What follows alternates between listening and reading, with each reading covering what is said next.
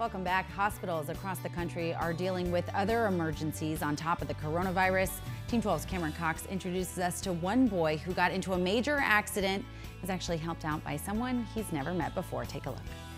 First game time. Tossing the ball with his kids in the front yard, Arcadia assistant football coach Grant Sanders can't help but think about a phone call he got this past Monday. My heart sunk. I turned pale white, looked like a ghost. A million things went through my mind. His youngest son, Devin, was riding his bike with family when all of a sudden he crashed. Bike tire just started wobbling on him and uh, started rolling. Landed on his helmet, cracked and dented his helmet, scratched it up pretty good. Thank God he had his helmet on because it would have been a different outcome. Devin was immediately rushed to Phoenix Children's Hospital. Lots of road rash, fractured uh, maxilla and um, just scared mostly as a seven-year-old would be you know pretty freaked out about blood and the road rash and, and, just the traumatic incident of it happening. When they got back home tuesday coach sanders posted on social media what his son had been through.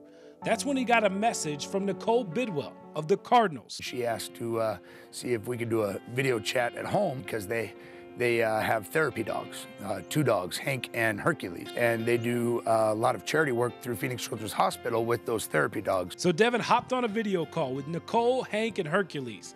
It was the first time he smiled in days. Then on Thursday, Nicole stopped by with some swag. So that was a huge smile on his face to see somebody from such a wonderful organization, especially in the community, reaching out to somebody that was in a traumatic incident, had a lot of pain going on, and uh, to bring that home was awesome. Pretty much right-handed. Devin is feeling better despite still having trouble talking and using his left arm. That's what I'm talking about. But his spirits are up thanks to a random act of kindness from his favorite football team. I felt like good because I've never seen the next it works for the Cardinals or plays for the Cardinals, so it was really fun.